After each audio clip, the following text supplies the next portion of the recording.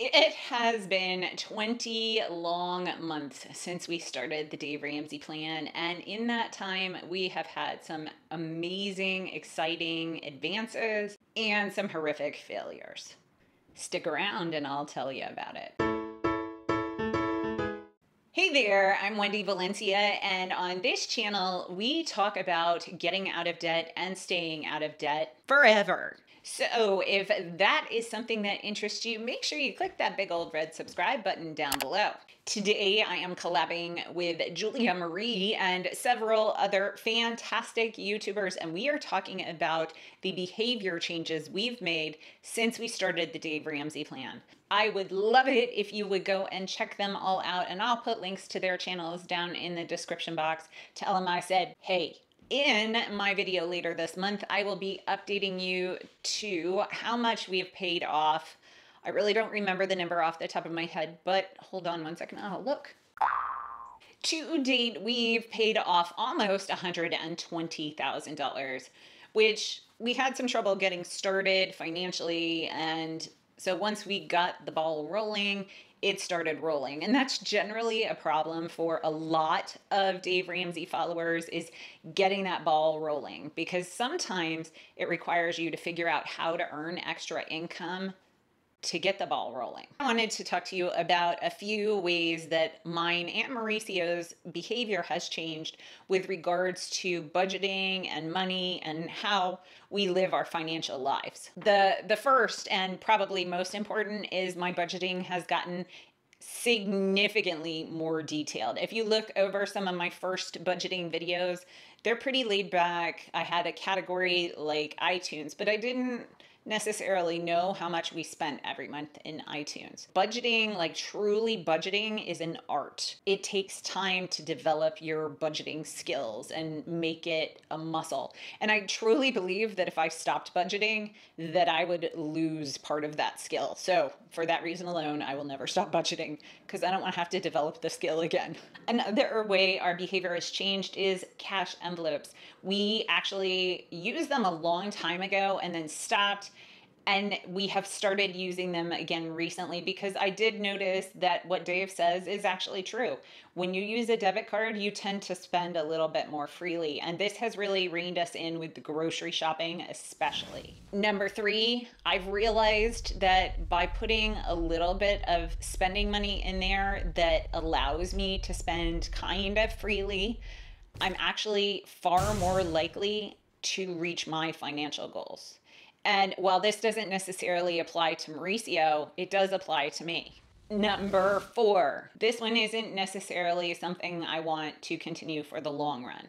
Our giving has decreased significantly. If you have watched our video about why we have so much debt, we actually have significant amounts of debt because we overgave for our salaries. We would put other people's needs first, well ahead of our own, without any thought as to how our generosity was impacting our budget, essentially or lack of a budget at that at that point in time.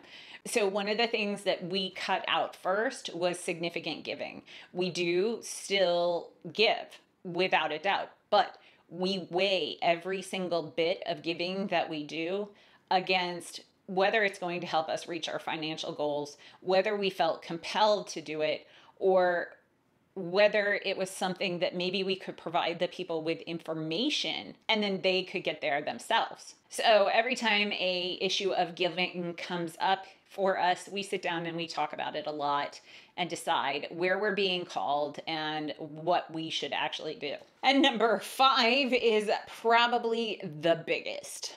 I'm actually reconciling while I like to think that I used to reconcile when I budgeted, I didn't. Not the way I am now. We reconcile everything.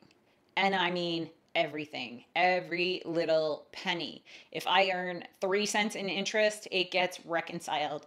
My bank account is balanced to zero every month. I actually have this green folder that I keep, and whenever I buy anything online or pay for a doctor's bill or anything that involves the debit card, I put the receipt in that folder. And then when it's time to check every dollar, I just open that up and see what's cleared and I take that receipt. And if it's medical, I file it with my tax stuff.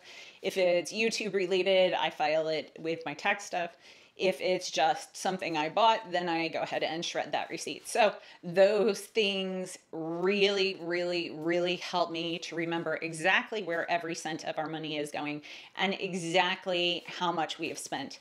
And this is pretty major when it comes to holiday or birthday giving because it allows me to see what has cleared, especially if I'm buying stuff on Etsy, because sometimes the Etsy people don't charge me right away. And so it might be several days before something comes through, and then I'm like, what was that? So this helps significantly. And I'll be doing a video later on about how we reconcile, Um because um, I think it is also, like budgeting, a skill and almost an art. And it's hard to learn for sure. What I can tell you is the most significant behavior change that has occurred for us is we will never, ever, ever use debt again as a crutch as an emergency fund, nothing. We will never touch debt again because we have a plan and we're sticking to it. And our plan is to be debt free. It may take us a while to get there, but we're going to get there. And I know you can too. You just need a plan. So, if you're new to my channel, make sure you click on my big laughing face to subscribe and I will put up two videos so you can keep on watching. This one is my latest one and this one is one YouTube picked out just for you. So I'll see you in the next one. See ya!